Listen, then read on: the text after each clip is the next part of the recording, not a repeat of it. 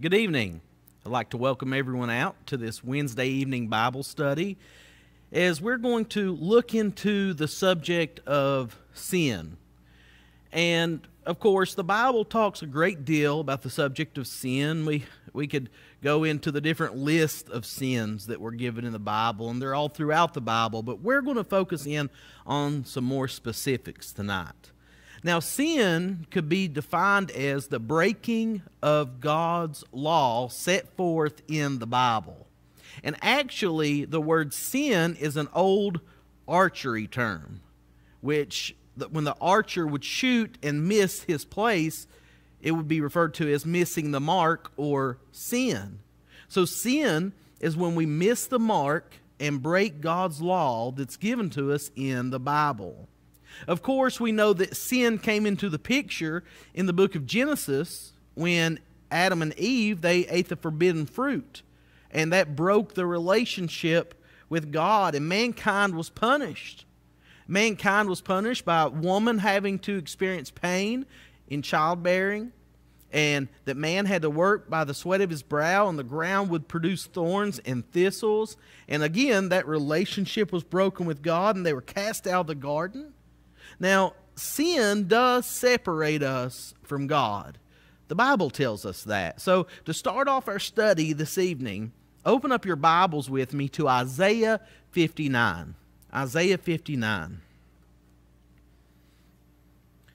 Isaiah 59, and we'll just look at verses 1 through 2, which says this Surely the arm of the Lord is not too short to save nor his ear too dull to hear. But your iniquities have separated you from your God. Your sins have hidden his face from you so that he will not hear. So here's what happens when, we're born, we're sinless, we're innocent, and we're new. But over time, we grow, right? And when we grow, we eventually start to understand what sin is and then we do sin, and that sin separates us from God. The Bible lets us know that if we say that we do not sin, that we're a liar and the truth isn't in us. The Bible also says, For all have sinned and fallen short of the glory of God. I mean, think about it. When we read about the man after God's own heart in the Bible, David, he sinned on different occasions that are recorded in the Bible, and I'm sure he, he sinned on other occasions that were not recorded in the Bible. And sin does, again, separate us from God. And since sin separates us from God, we know that He turns a deaf ear to our prayers when we're living lost in sin. We don't have fellowship with God. We are on the path to hell. And we have to obey Jesus Christ to get back on track with God and be saved. And truly, sin is running rampant in this world, rampant everywhere. I, mean, think about it you, you watch a TV show nowadays and you have sin shoved right in your face. You're always hearing foul words that people are speaking. You're always hearing of drugs being sold and trafficked and people hurting other people and just all kinds of horrible things. Sin is running rampant in this world everywhere. So, this evening, let's look at a few different categories that sins fall into. The first type of sin that we're going to look at is the sin of commission. The sin of commission. Now, a sin of commission is an overt sinful act. Uh, they're sinful acts uh, because we are doing something that we are not supposed to do, and we know we're not supposed to do that.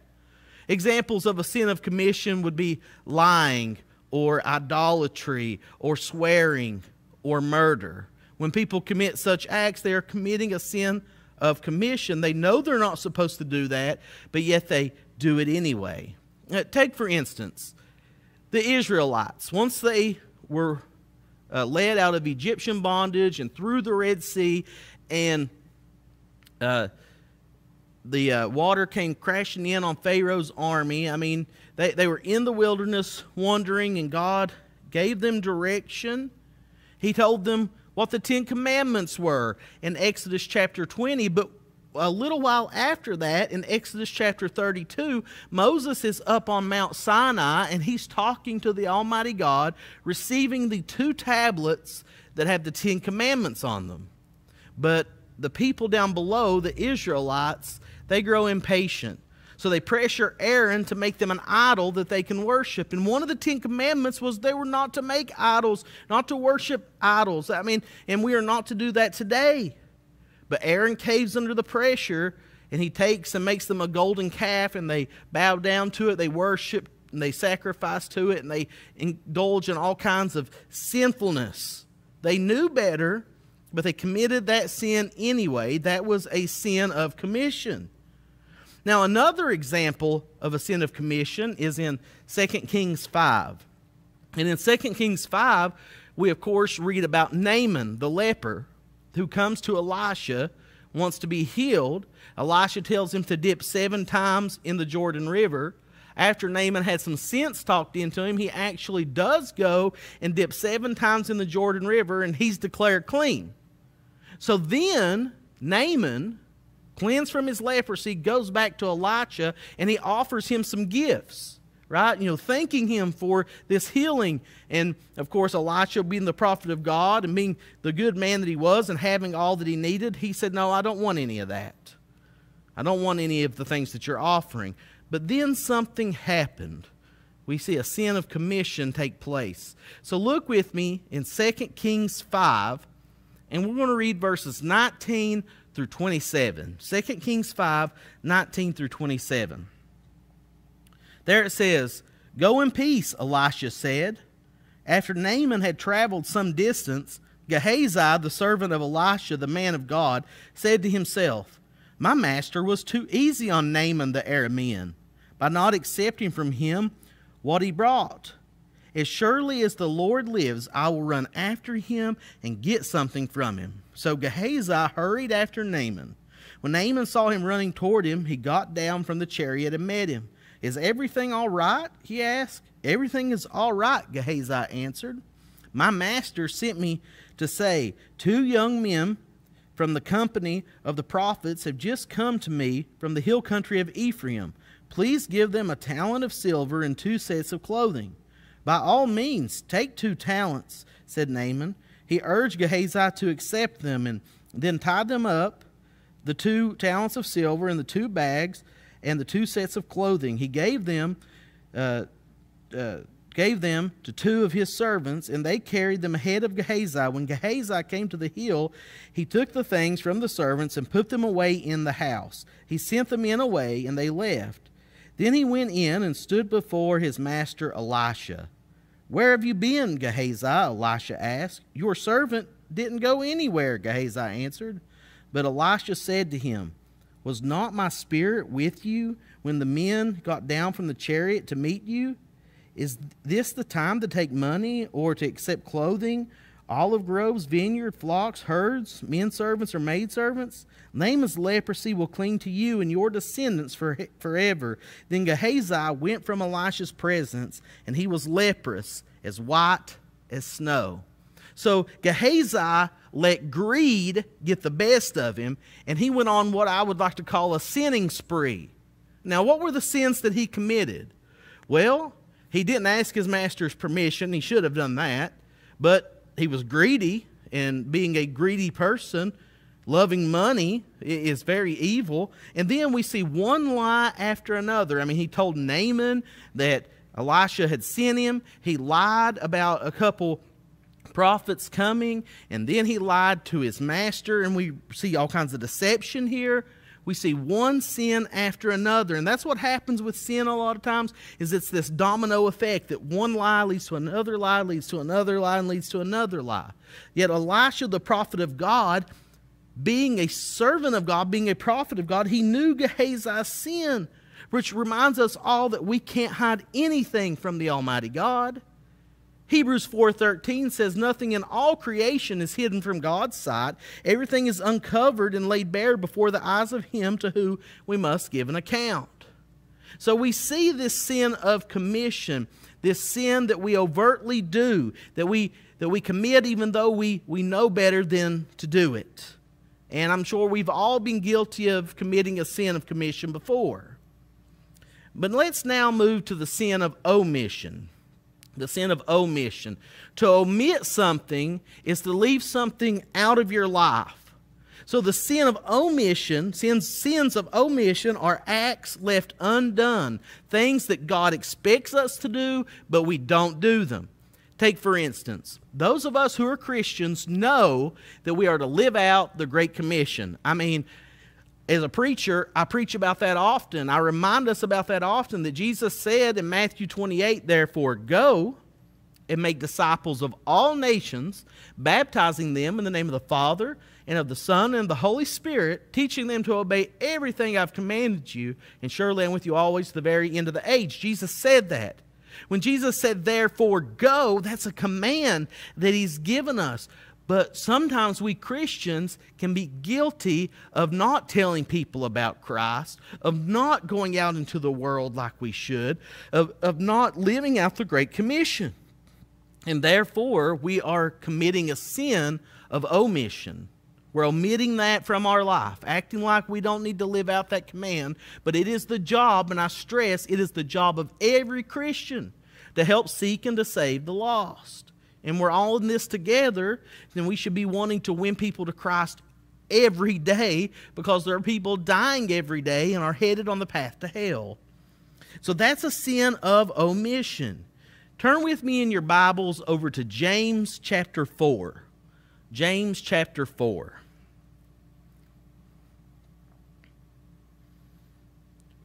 James 4, and look in verse 17. And there the scriptures say, Anyone then who knows the good he ought to, to, to, ought to do and doesn't do it sins. Now listen to that again. Anyone then who knows the good he ought to do and doesn't do it sins. Now, Jesus did give us a couple parables about this, and I want us to kind of look at those parables. One parable is the parable of the Good Samaritan. And just to kind of remind you of that story, we read about a time when there's a man going on the road to Jericho and he's jumped by a bunch of bandits who beat him, strip him of his clothes, steal everything he, he has, and leave him laying on the side of the road for dead. But then there comes this, this priest, this basically you could say nowadays to be a preacher, right? And he goes on by, sees the guy laying there, but he probably thinks, well, you know, I'm so busy, I need to hurry up and get to the temple. And he goes on, he just ignores the guy laying there. A Levite comes by, he sees the man laying there, he knows he should help, but he just ignores the situation and goes on. But then a Samaritan man comes by, and the Samaritan looks at this man, has compassion for him. He cleans up his wounds and puts him on his animal and takes him to an inn and pays for him to be provided for. This was a good Samaritan. Now, here's the deal this priest and this Levite, they would know that they should help their fellow man if they see him beaten up and laying on the side of the road because they would have been students of the Bible. They would have known what the Old Testament said. So turn with me and let's see what the Old Testament says about this. Turn with me to Deuteronomy 15. Deuteronomy 15. And let's look at verse 11. Deuteronomy 15 11. And there the Old Testament says, There will always be poor people in the land. Therefore, I command you to be open handed toward your brothers and toward the poor and needy in the land. Now, this man laying beat up on the side of the road with this Levite and this priest went by, he was definitely needy because he could have laid there and he could have been killed, or an animal could have found him laying there bleeding and started feasting on him, and he could have died that way. I mean, he was in a situation where he was definitely needy. But what these men did was they committed a sin of omission, knowing they needed to help, but they didn't help in that situation. Just like Christians should live out the Great Commission, and when we don't, we're omitting that from our lives. Now, a second parable about this same subject is in Matthew chapter 25. And I love Matthew 25. If you want to go ahead and turn there in your Bibles, I'd appreciate it. And in Matthew 25, we read the parable of the judgment day, where Jesus is going to return. And we know when Jesus returns, he's going to judge the world, and he's going to separate us sheep on his right, goats on his left, sheep being Christians, being saved, the goats being the lost. And he says some specific words here to the goats and to the sheep. But in Matthew 25, look at what he says, verses 41 through 46. And it says, Then he will say to those on his left, you know, talking about the goats, Depart from me, you are who are cursed into eternal fire prepared for the devil and his angels.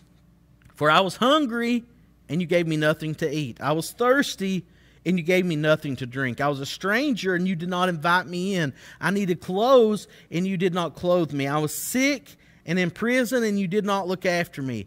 They also will answer, Lord, when did we see you hungry or thirsty or a stranger or needing clothes or sick or in prison and did not help you? He will reply, I tell you the truth. Whatever you did not do for one of the least of these, you did not do for me. Then they'll go away to eternal punishment, but the righteous to eternal life. So he's telling, telling us on the great judgment day that not only will our sins of commission be brought out, not only the sins like lying, cheating, stealing, and murder, not only will these be brought out, but also the things that we didn't do. The sins of omission will be brought out on the great judgment day. So, we can understand what these two types of sin are, and we can look at our own lives and examine ourselves and say, you know, what have I been omitting from my life that the Lord expects of me? What sense of commission and what sense of omission have I been committing? Now, there's one more type of sin that I'd like to speak of, and, and this isn't spoken of a whole lot, but I think it's important that we're reminded of this. We're going to talk just briefly about the unpardonable sin. And this is found in Mark chapter 3, if you want to turn there with me in your Bibles. Mark chapter 3. In Mark 3, some of the Pharisees and teachers of the law were accusing Jesus of performing miracles by Beelzebub, the prince of demons. So basically, they were saying that Jesus was performing all these miracles, that he was casting out demons by the devil instead of by the Holy Spirit of God. And because of this, Jesus decides he's going to line them out. Okay? So let's look here in Mark 3, verses 23 through 29. And there it says, So Jesus called them and spoke to them in parables. How can Satan drive out Satan? If a kingdom is divided against itself, that kingdom cannot stand. If a house is divided against itself, that house cannot stand. And if Satan opposes himself and is divided, he cannot stand. His end has come.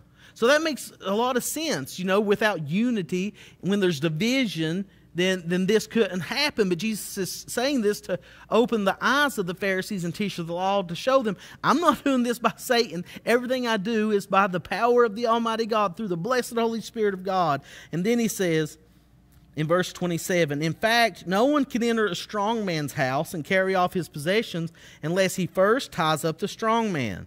Then he can rob his house. I tell you the truth all sins and blasphemies of men will be forgiven them, but whoever blasphemes against the Holy Spirit will never be forgiven. He is guilty of an eternal sin. Now, a lot of people are concerned when they hear this. They think, oh no, have I committed blasphemy against the Holy Spirit? But I, I tell you what, if you are concerned and you think, oh no, did I do that? Then, then you haven't committed that sin because you have a receptive heart that is repentant of your sins. So you haven't committed that sin if you have that concern. So, blasphemy of the Holy Spirit is called the unpardonable sin. Now, in this context, the context of Mark 3, Jesus is talking to the Pharisees and teachers of the law. And these Pharisees and teachers of the law had seen with their own eyes the miracles of Jesus. Now, think about that. They had witnessed with their own eyes Jesus casting out demons. They had witnessed with their own eyes Jesus healing the sick. They had seen the proof that Jesus is the Messiah, the Savior of the world. They had seen this proof And they, they knew that this was backed up by the Old Testament scriptures because they were devout students of the Old Testament. And yet they willfully rejected Jesus. And they willfully rejected the Old Testament scriptures and willfully rejected that his work was done by the Holy Spirit of God. And they did that because they had these hard hearts that would not accept and obey Jesus. Now, the Bible tells us that all the scripture, that all the Bible is given to us by the inspiration of the Holy Spirit. Or other translations of the Bible say, all scripture is God breathed. Or, in other words, we could say that all Scripture comes to us by the Holy Spirit of God. And the Holy Spirit, He even helps us recall the teachings of Christ is John 14 and verse 26 tells us. So when people today have hard hearts, like these Pharisees and teachers of the law, and they willfully reject the written word, which is the work of the Holy Spirit, and they willfully reject Christ, then they are living a life in the unpardonable sin like the Pharisees who rejected Christ and rejected the Holy Spirit, which He is doing His miracles by. The reason it's the unpardonable sin is because their hearts are so hard that they'll never be brought to belief and repentance and obedience of God's plan of salvation. And the reality is, God wants all people to be saved even those who consider themselves the worst of sinners. Remember Saul of Tarsus? And he breathed out murderous threats against the church. And he loved the Old Testament law, and he was a Pharisee of Pharisees, and he did he calls himself the worst of sinners, but the Lord showed his patience and how he will forgive anyone through and by Saul of Tarsus. Because he became the apostle Paul and wrote the majority of the New Testament that we read today. We also read in 1 Timothy chapter 2 verses 3 through 4 that this is good and pleases God our Savior who wants all men to be saved and come to the knowledge of the truth. So we read multiple times that God wants all men to be saved, but in order to be saved, we have to do our part and accept and obey the Lord. So we have these three different types of sin that we've spoken about tonight. And I just want to give us a little review here as we're starting to wrap up. The sin of commission, sins that we do that, that we know we're not supposed to do. And that's like lying, stealing, cheating, murdering, sins of omission, when we leave things out of our lives that God wants us to have in our lives, like taking care of the, the sick, taking care of the hungry, checking on people in prison, uh, praying for people, living out the Great Commission, things like that. And then there's the unpardonable sin, which is blasphemy against the Holy Spirit. And that's when people reject the Word of God, which is given to us, which is all God breathed. Which is all given by the inspiration of the Holy Spirit. When people reject the Word, they are rejecting the Spirit, they are rejecting salvation, and their heart is so hard that they will not be brought to repentance, and therefore they are living in that sin of the unpardonable sin. So we have these three categories. And of course, uh, I think it's vital that we all remember that the only way to have pardon and remission of our sins is to obey and live for Jesus Christ. And remember, Jesus left heaven to come to earth to teach us the way, that He is the way, the truth, and the life. Jesus laid down His life. No one took it from Him. No, He laid it down on the cross of Calvary, and He raised it up again and raised from the grave, walked amongst man, and ascended back to the Father. And one glorious day, our Savior, the only Savior, is going to come back and judge the world. So we need to be ready. We need to have pardon and remission of our sins. We need to be on track to heaven by living out God's plan of salvation outlined in the Word. That plan being to hear the Word of God, as Romans 10 17 tells us to believe the Word of God, as John 8 and verse 24 tells us that we must repent of our sins, as Luke chapter 13 verses 3 through 5 tells us we must confess Christ before our fellow man. As Matthew 10 32 tells us, we must be baptized into Christ for the remission of sins into the name of the Lord for the gift of the Holy Spirit. And then, as Mark 16 16 tells us, and we must live faithfully to the end. As Romans 2:10 tells us, if we do, we'll receive that crown of eternal life. And I want to encourage you if you need to make a decision to obey the Lord, or if you just need us to pray with you, give me a call. Our office number is 606 723 4791. Will you pray with me? Heavenly Father, Almighty God, we come before you and we pray for the healing of all the sick, Lord. We uplift each one that's on the prayer list at church, Lord. We pray that you intervene and heal them and that you comfort those that are grieving and that you be with all our military men and women and all our first responders, EMTs, firefighters, Lord, and just, just keep them healthy.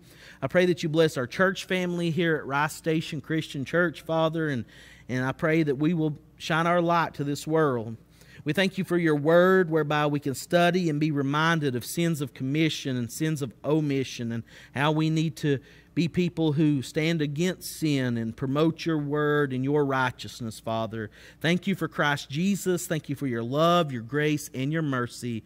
And we pray all this in Christ Jesus' holy name. And amen.